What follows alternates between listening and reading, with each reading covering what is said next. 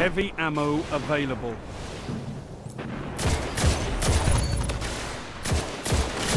Double kill.